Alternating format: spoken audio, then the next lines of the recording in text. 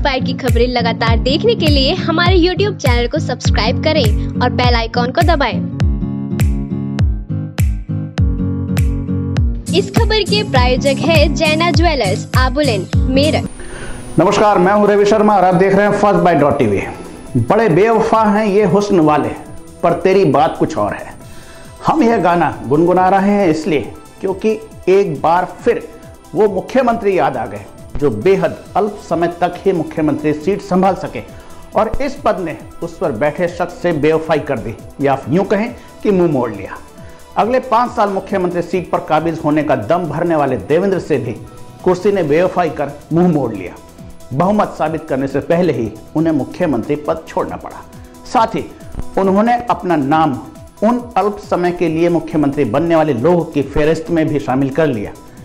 दूसरी बार वह केवल 80 घंटे ही मुख्यमंत्री बने रह सके। देवेंद्र के अलावा अनेक नाम ऐसे हैं जो मुख्यमंत्री की कुर्सी तक जैसे तैसे पहुँचे तो लेकिन हालात व समीकरण कुछ ऐसे बने कि वह इस कुर्सी को संभाल सके और देखते ही देखते कुर्सी उनके हाथ से छिटक गई।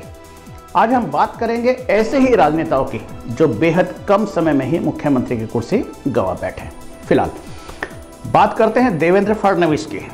अपना पिछला पाँच साल का कार्यकाल उन्होंने बड़ी शिद्दत से पूरा किया।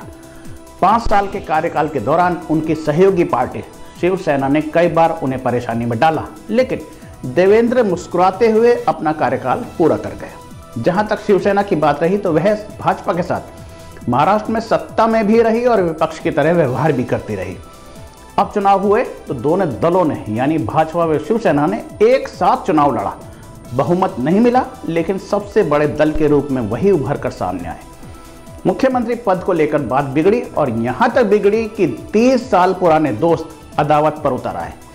वहीं देवेंद्र फडणवीस, जिस अजीत पवार को जेल भेजने की बात कर रहे थे, उन्हें लेकर बेहद ही नाटकीय अंदाज में मुख्यमंत्री सीट पर काबिज हो गए। हालाँकि जिस तरीके से भाजपा ने महाराष्ट्र पर काबिज होने का ताना बाना बुना, उससे भाजपा की छवि पर ज़रूर जोरदार डेंट लग गया है। राज्यपाल की भूमिका पर भी कई सवाल लग गए हैं।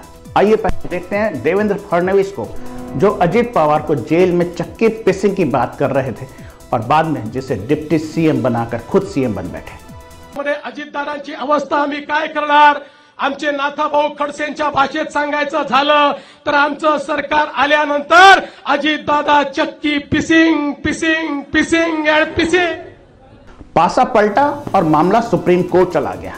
सुप्रीम कोर्ट ने फ्लोर टेस्ट का आदेश दिया तो भाजपा को यह समझते देर न लगी कि फ्लोर पर वे बहुमत साबित नहीं कर पाएँगे। लिहाजा पहले डिप्टी सीएम अजीत पवार और इसके बाद देवेंद्र फडणवीस ने मुख्यमंत्री पद से इस्तीफा दे दिया।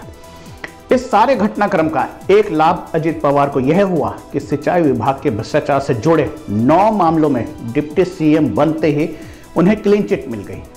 विपक्ष का यही आरोप है कि इसका डर दिखाकर ही भाजपा ने अजीत को अपने साथ लिया था। यही डर चुनाव से ठीक पहले शरद पवार को भी दिखाया गया था। दरअसल महाराष्ट्र राज्य सहकारी बैंक घोटाले में उन्हें ईडी ने नोटिस जारी किया था। लेकिन शरद पवार खुद ही बिना बुलाए ईडी दफ्तर पहुँच गए थे। उन्हें देख ईडी के भी हाथ पाँव फूल गए। मुंबई पुलिस कमिश्नर को खुद शरद पवार के घर जाकर उन्हें ऐसा न करने का आग्रह करना पड़ा था। अब महाराष्ट्र में शिवसेना नीत ठाकरे सरकार बन गई है और सत्ता के केंद्र में शरद पवार आ गए हैं। आज खबर यह भी है कि शरद ने अजीत को माफ़ कर दिया है। संभवतः उन्हें मंत्रिमंडल में भी लिया जा सकता है। अब बात करते हैं ऐसे मुख्यमंत्रियों की, जिन्होंने बेहद अल्प समय ही मुख्यमंत्री पद संभाला। इनमें सबसे ऊपर नाम आता है जगदम्बिका पाल का। उनका मामला बेहद अनोखा है। दरअसल, राज्यपाल रमेश भंडारी ने तत्कालीन कल्याण सिंह सरकार को बर्खास्त कर 21 फरवरी उन्नीस सौ अट्ठानवे को जगदम्बिका पाल को उत्तर प्रदेश के मुख्यमंत्री पद की शपथ दिला दी। अगले दिन, राज्यपाल के इस फैसले को हाई कोर्ट में चुनौती दी गई और कोर्ट ने उनके कार्यकाल को विधि शून्य घोषित कर दिया। जगदम्बिका पाल को सुप्रीम कोर्ट से भी कोई राहत न मिली। इस तरह, वह सीएम तो बने, लेकिन कार्यकाल रिकॉर्ड में उनका नाम दर्ज नहीं हो सका। दूसरा नाम है येदियुरप्पा का। 17 मई 2018 को कर्नाटक के सीएम पद की शपथ ली, लेकिन फ्लोर टेस्ट में बहुमत साबित न हो पाने के कारण उन्हें 19 मई 2018 को पद से इस्तीफा देना पड़ा। इस तरह वह मात्र 55 घंटे ही मुख्यमंत्री रह पाए। देवेंद्र सिर्फ़ 80 घंटे। इसके बाद नाम आता है सतीश प्रसाद सिंह का। 28 जनवरी 1968 को बिहार के सीएम पद की शपथ ली, लेकिन पाँच दिन बाद ही उन्हें समीकरण ऐसे बने कि यह पद छोड़ना पड़ गया। झारखंड के राज्यपाल ने झामुमो प्रमुख शिबू सोरेन को अल्पमत में होते हुए भी 2 मार्च 2005 को सरकार बनाने का न्योता दिया। फ्लोर टेस्ट में बहुमत नहीं जुटा पाने के कारण 10 दिन बाद, यानी 12 मार्च 2005 को मुख्यमंत्री पद से उन्हें इस्तीफा देना पड़ा। बाद में भाजपा ने अपने दलों के साथ मिलकर वहाँ सरकार बनाई। इसके अलावा कांग्रेस के वरिष्ठ नेता एस सी मारक मेघालय में मात्र तेरह दिन ही मुख्यमंत्री पद पर रह पाए। वह 27 फरवरी उन्नीस से 10 मार्च उन्नीस तक मुख्यमंत्री रहे। इसके अलावा 24 दिन तक मुख्यमंत्री पद पर विराजमान रहने वाली जानकी रामचंद्रन को मुख्यमंत्री एम जी रामचंद्र के निधन के बाद पार्टी विधायकों ने नेता चुनते हुए राज्यपाल को समर्थन पत्र दिया था। इस तरह 7 फरवरी उन्नीस सौ को जानकी रामचंद्रन तमिलनाडु के मुख्यमंत्री बन गई, लेकिन बहुमत साबित न कर पाने के कारण मात्र 24 दिन में ही उन्हें मुख्यमंत्री पद छोड़ना पड़ा। इसके अलावा बीपी मंडल कांग्रेस से खिचड़ी पकाकर बिहार में 1 फरवरी उन्नीस को मुख्यमंत्री बने, लेकिन महज 31 दिन ही सरकार को बचा पाए और 2 मार्च उन्नीस सौ अड़सठ को उन्हें भी मुख्यमंत्री पद छोड़ना पड़ा।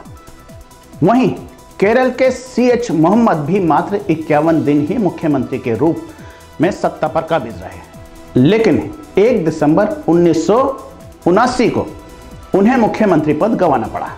आज इस कड़ी में बस इतना ही। देखते रहिए फ़र्स्ट बाइट डॉट